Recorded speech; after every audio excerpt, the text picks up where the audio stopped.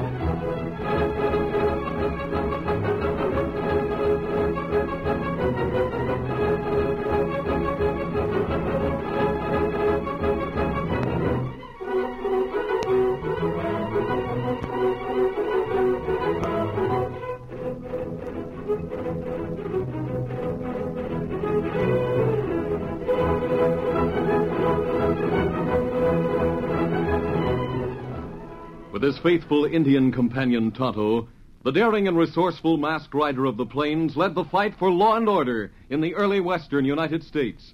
Nowhere in the pages of history can one find a greater champion of justice.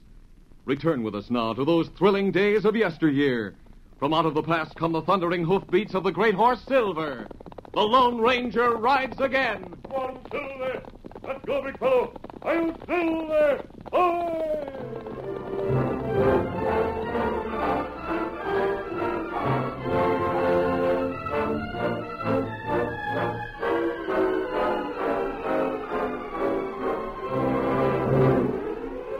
The Lone Ranger and Tonto had made their camp for the night in the forest near the banks of the Missouri.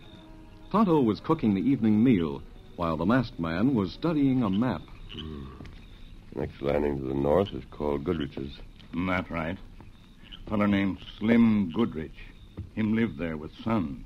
Cut wood, selt a riverboat. This second spring, them there. They know you, Tonto? He stopped there one time. You better stop there again tomorrow morning. Find out if you've seen anything of Rio or his men. Ah, Haven't much information to work on, Tonto. well, them tell you at Fort Lookout, Kemosabe. Rio between here and Fort Benton. Yes, that takes in a lot of territory. What's the matter, Silver? Him hear something, maybe. Not to hear it now. Yes, someone's coming this way. Me put out fire. We'll just get out of the clearing and wait back among the trees. Come on, Silver. Here, Scout. Come forward. The Lone Ranger and Tonto took cover in the forest and watched the lighted circle around the campfire. The sound of running footsteps stopped, and they could see a dim figure among the trees on the other side of the clearing. Then it emerged into the light. It was a woman. Her dress was torn, her face was scratched, and she carried a shotgun. She's frightened, Tonto. Ah, they're plenty scared. I wonder who she is. What could a woman be doing around here? Suddenly, the woman started running directly toward the Lone Ranger and Tonto. We'll have to stop her and find out what this is all about. Ah, Please, wait a minute. We don't want to hurt you. Take your hands off me or I'll shoot. I'm sorry. I can't let you do that. Uh, no, give me back that gun. Wait, we want to help you. Can't you understand? Now, why are you running? Why are you afraid? You can't make me go back there. I won't. Back where? You're one of them. That mask proves it. You're an outlaw like the rest. You killed my husband and my son, didn't you? No, ma'am. Won't you please listen Some of you for... did. They're dead, aren't they? Slim and Kit both. Are you talking about Slim Goodrich and his son? As if you didn't know. And you're Mrs. Goodrich? Let me go. I have a little money. I'll give it all to you. Just let me go. Not until you tell me why you think your husband and your son are dead. What else can I think? They're not at the landing. You and your outlaw friends have moved in. You don't suppose I still believe that story about their going hunting? Mrs. Goodrich, is there a man named Rio at the landing? Don't you know where your own boss is? He isn't my boss. I've been looking for him for the past month. To join up with him? No, to capture him and take him back to Fort Lookout. What? I'm not an outlaw. You must believe me. Now, please, for your own sake, for the sake of your husband and your son, tell me all you know about Rio. I. Now, what, Silver?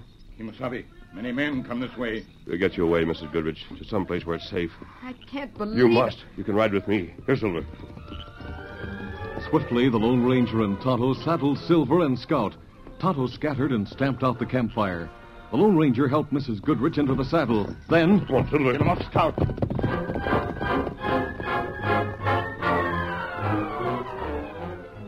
They rode deep into the forest before they reined up and prepared to make a fresh camp, but this time they lighted no fire.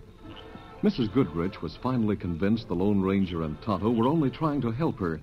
She told them all she knew about Rio and his men and the events that led up to her running away from the landing. Slim came out here two years ago for his health, and Kit came with him. But I was afraid. I'd heard so many stories the Indians, the massacres, holdups, outlaws. Slim's my husband, and Kit's my son. And for two years I've been ashamed of myself. This spring I decided I had to join them, so I took the Prairie Belle from St. Louis. It docked at the landing this afternoon. Or I should say it stopped for a minute to put me off. It didn't need any fuel. And your husband and your son went around. No. Rio and Spur were there. They said Slim and Kit had gone hunting. And you don't know why Rio's taken over the landing? There's a lot of wood there that Kit and Slim cut this winter. He can sell it to the boats. That doesn't sound like big enough money for him. I don't know. He has a gang of 20 men with him. All I care about right now is my husband and my son. And that's all I care about. We'll find out where they are, Mrs. Goodrich. If only they're alive. Kemosabe. Yes, Twenty men. Maybe it better we bring troops from Fort Lookout. that's a long way. We'll have to see what we can do ourselves first.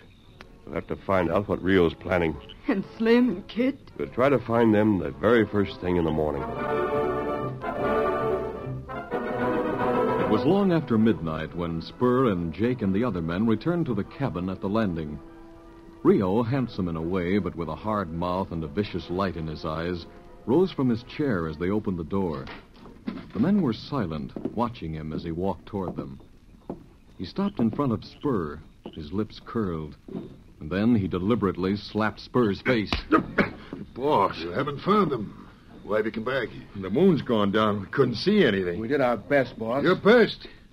Couldn't you even find the woman's trail? Yes, we did. But she met somebody in the clearing downstream from here. Somebody that had horses. She rode away with him. Her husband? I don't know. It couldn't have been Slim, Rio. He didn't take a horse when he got away from here. There were two horses. And you couldn't follow them? We lost the trail at a creek. We we couldn't pick it up again. Yeah, you fools. There wasn't enough light. We'll follow it in the morning. Now, listen to me, the lot of you. This whole thing is too important for me to stand any more bungling. We'll find them. You've got to find them. The boy was hit, I swear it. He can't have gone far.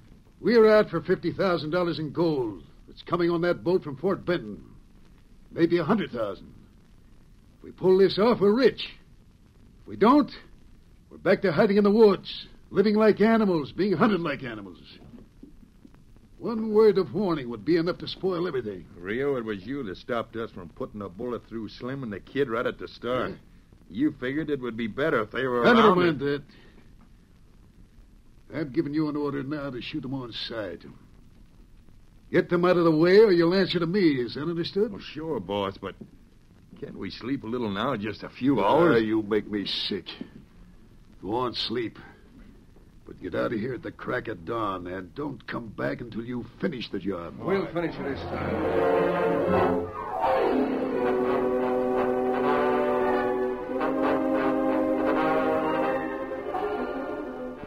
At daybreak, the Lone Ranger and Tonto were hiding in the woods back of the landing. They saw half a dozen men saddle their horses and ride downstream. They're going after Mrs. Goodrich again. Ah, let them not pick up trail, Kemosabe. Tonto plenty careful last night. No, but that old deer trail runs close to the cave. Oh, them not see cave. I'll stand guard here, Tonto. Scout around, see what you can find. Ah, me too.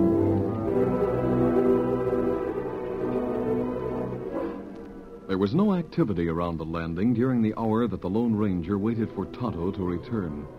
And when the Indian appeared once more, He carried several dried leaves in his hand. What do you have there, Kemosabe? Tonto find trail made by two men over that way. Really? You look at leaves here. Dark spots on them. Ah, that blood. Somebody was wounded. That right. Trail may be one day old. You can follow it? Tonto thinks so. Then let's go. It better we lead horses. All right. Come on, Silver. Come, Scout. Come, fella.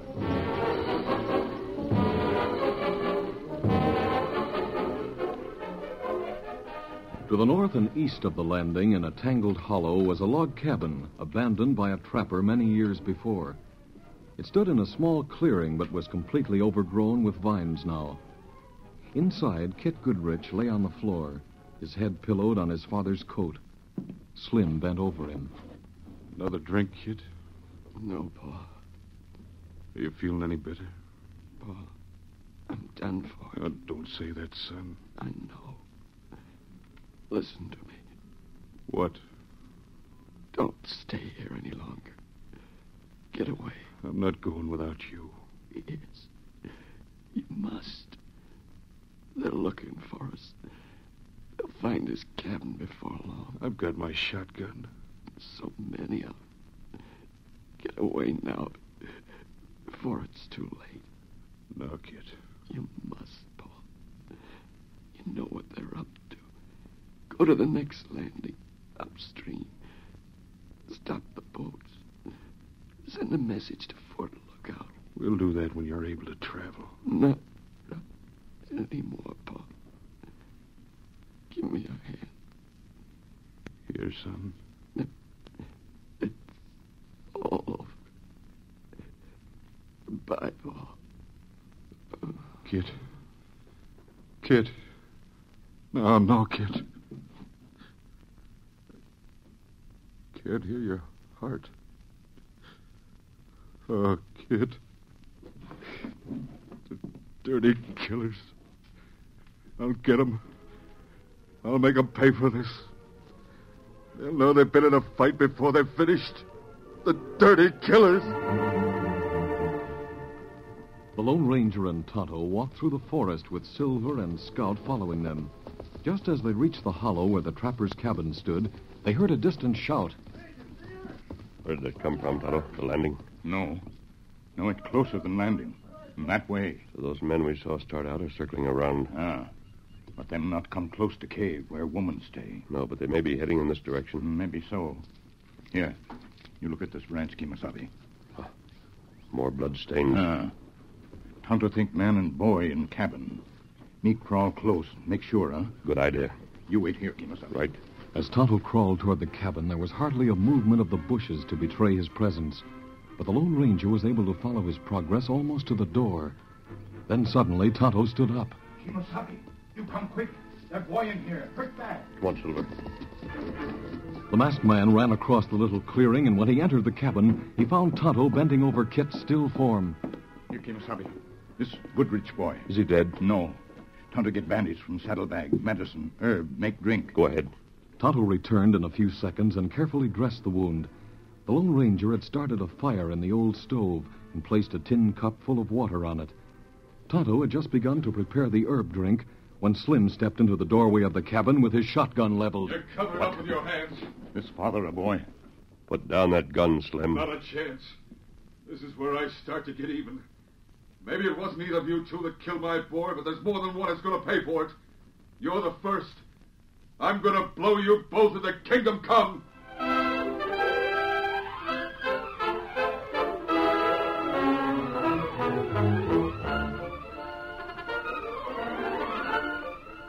The curtain falls on the first act of our Lone Ranger story. Before the next exciting scenes, please permit us to pause for just a few moments.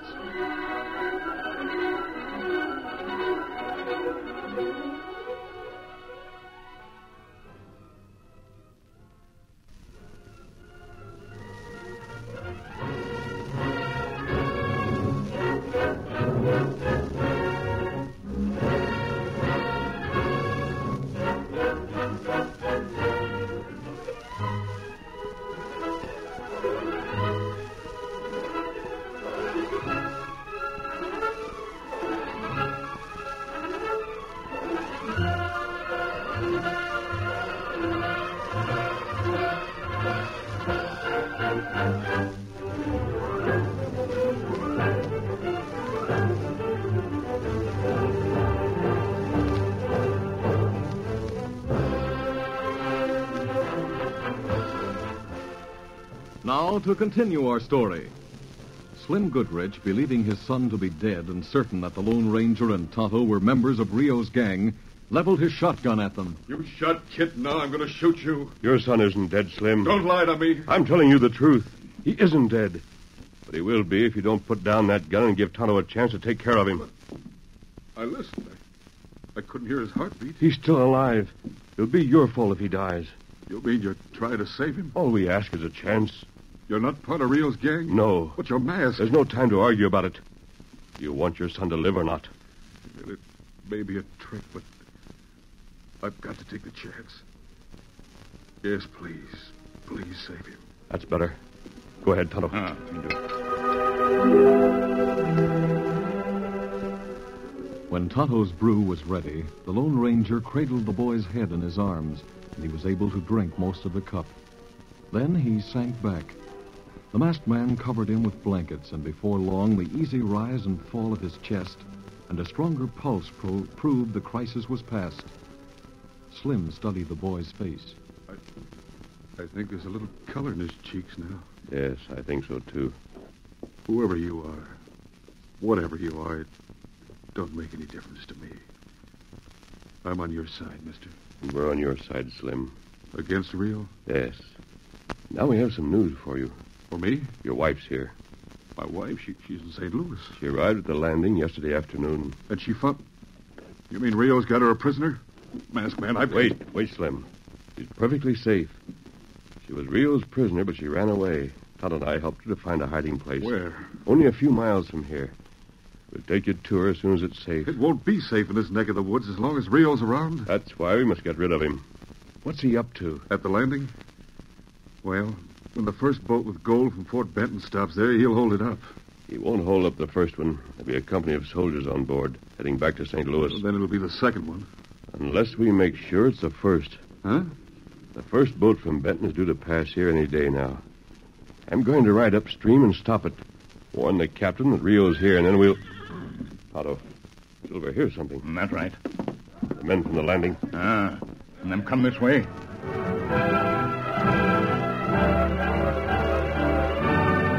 Quickly, the Lone Ranger and Tonto prepared for a siege. Silver and Scout were led into the woods in back of the cabin, and the masked man and the Indian had no sooner returned than they heard the sound of horsemen forcing their way through the underbrush and heading toward the clearing. The door of the cabin was slammed shut, and the Lone Ranger and Tonto took their positions at the two small windows. I'll take the first one, Tonto. Ah,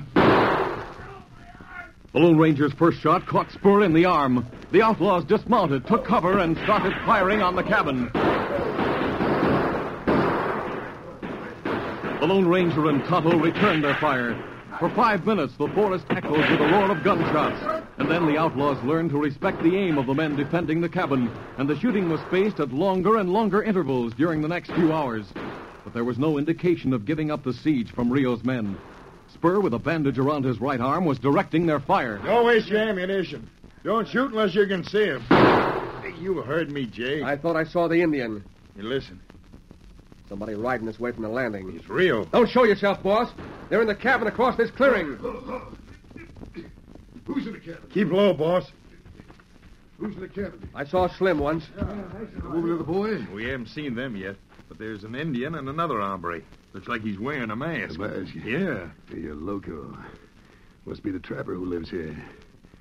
Why haven't you rushed the place before this? Let me see. Why, that dirty... Did you get hit? No. You can see why we haven't gone after them. They shoot straight. Yeah. All right. Leave them where they are. What? You're all coming back to the landing with me. But, boss, you said... I said get the Goodriches, so they couldn't warn anybody what we're up to. Well, it's too late for that now. First boat from Fort Benton is only a few miles up the river. It's late in the afternoon. They're sure to stop for the night at the landing. You hear that, boys? Tonight's the night. Well, I want you all inside the cabin at the landing before the boat docks. Spur and I'll be the only ones who can down to meet the boat. But as soon as they put down the gangplank... It's what we've been waiting for, boss. Yeah, come on. Leave the Goodrich is here? You expect them to follow us? I don't know. I do. They'll hightail him. That suits me. Come on. Come on.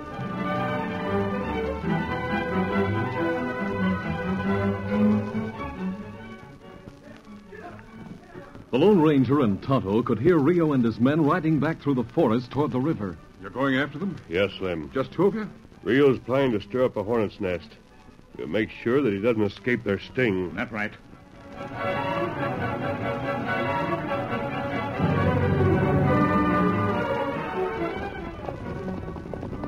Silver. Easy, steady, big fella. Easy, Scout. Easy, Tonto. Fifteen minutes later, the Lone Ranger and Tonto dismounted on the edge of the clearing. A steamboat whistle sounded up the river. There she comes. Isn't that right. Tonto think all outlaws inside cabin. You look. Horses in corral. Back a cabin. They'll need them for their getaway. Ah. And there no wind in back a cabin.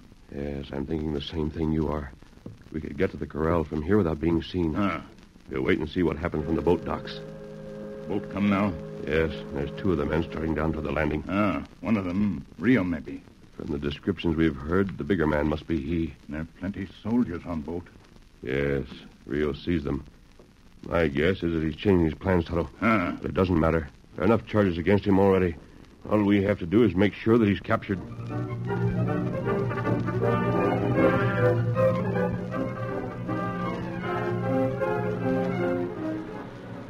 It was true. Rio was changing his plans. And as the boat nosed into the dock, he gave Spur new instructions. Get back to the cabin fast. Tell everybody to lay low until dark. We're not going to tangle those uniforms. Right. Hurry it. The boat was made fast, the gangplank lowered, and the first two men down it were the captain and the lieutenant in charge of the troops on board. Welcome to Goodrich Landing. Well, hello. I believe I've seen you before. My name's Smith. I'm in charge here while Slim's away. I see. Well, we need some fuel. There's plenty all cut and waiting if you have the men to load it. Yes, indeed. I'll get them at it right away. Captain, Yes, Lieutenant? look who's riding out from the woods toward us. Mask man. Yes, you know him, don't you? An outlaw? Well, I'll take care of him. Are you crazy, Smith? Give me that gun. No. I said give it to me. That masked man is the Lone Ranger. No, Ranger. Smith, where are you going? Rio had been thinking fast. A masked man. A masked man who was really the Lone Ranger. A masked man who had been in the cabin with Slim Goodrich. Got to make a break for it. I haven't got a gun, but I've got my knife. There's no time to warn the others. In another minute, the lieutenant would know Rio's real identity. His own horse, a magnificent chestnut, was standing in front of the cabin, and he leaped to the saddle. Get up there. Get up. As he disappeared into the forest, the Lone Ranger reined up beside the captain and the lieutenant. Oh, oh there, Silver. Oh, easy. Howdy, masked man. Meet Captain Daly. Hello, Lieutenant. Good evening, Captain. Good evening, sir. That man you were just talking to was Rio. The outlaw? Rio. Twenty of his men are in that cabin. You round them up. Look, they're coming out. Get after them, Lieutenant. We've driven off their horses. They can't go far. Right, sir. I'm going after Rio. Come on, Silver!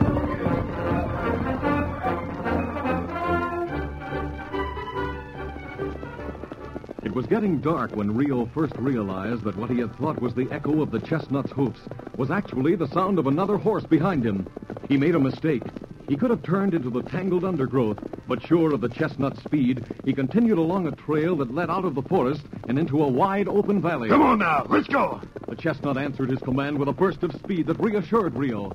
Reassured him until he turned in his saddle and saw the great white stallion flash from the forest, and the distance between the masked man and himself being closed with every second. Rein up. You'll never get me. Run, Diablo. The Lone Ranger had been expecting the outlaw to open fire, but as he drew closer, he saw that Rio's holster was empty, and he urged Silver on. Come on, Silver! Now Silver lengthened his tremendous stride. His silver shod hoofs spurned the ground. The chestnut tried gallantly, desperately to respond to Rio's quirt, Come on, boy. but there was no horse in the west that could match Silver's speed. He was at the chestnut's flank, his saddle, his withers. Now nose and nose they raced. As the Lone Ranger made no move for his gun, Rio knew that the stories he had heard were true. He would never use a gun on an unarmed man, and hope came back. He swerved aside from the trail. The Lone Ranger held Silver to the side of the chestnut. For the last time, rein up. You'll have to shoot to stop me. No, you're wrong. The masked man leaned toward the racing chestnut and grasped Rio around the waist. Rio felt himself being lifted from the saddle, and instead of resisting, he threw himself at the Lone Ranger. The Lone Ranger was knocked from the saddle, and the two men fell to the ground with the masked man underneath.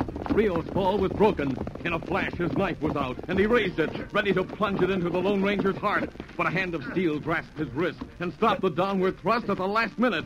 Slowly, he forced Rio's hand back, inch by inch. A sudden twist, and the knife flew into a clump of bushes. Rio wrenched himself free and sprang to his feet. I told you you'd have to use your gun. There are better ways of handling your kind. The Lone Ranger's right caught Rio's jaw, and Rio charged back at him. Even larger than the masked man and confident of his strength, he was determined to win. And at first, the fight seemed to go in his favor. The Lone Ranger was forced to give ground to his bull-like rushes, but then he started moving in, and with a sure skill, his blows were driven home. A right and left, and a right and left again, and now Rio was sobbing with exhaustion. Another right to the jaw, and he dropped to his knees. His shoulders sagged. Oh, don't, don't hit me again. I've had enough. I've done more. You're finished. That's what you mean, Rio. You're going to spend the rest of your life in jail.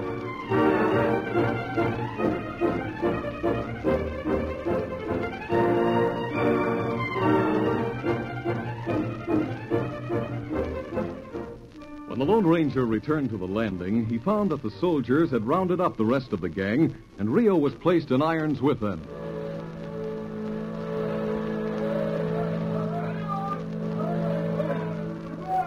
The following morning, Captain Daly's boat started down the river with its full cargo of soldiers, gold, and outlaws. The Goodriches waved goodbye from the doorway of their cabin, and even Kit was able to watch from his cot near the window. Goodbye. Well, Annie, there she goes. Yes, Slim. Are you sure that you won't mind it here with just Kit and me? You know better. You won't be lonely? You won't be afraid? Lonely?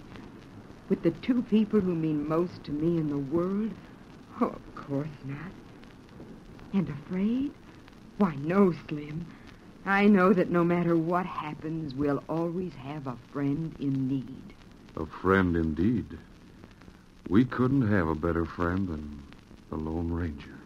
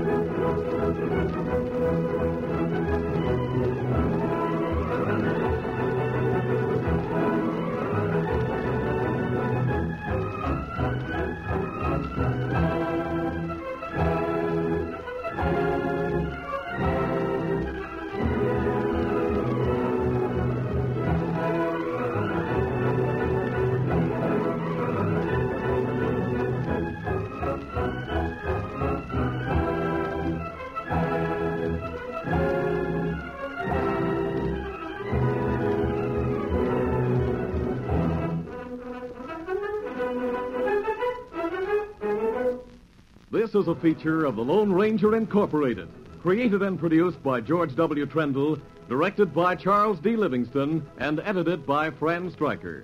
The part of the Lone Ranger is played by Brace Beemer.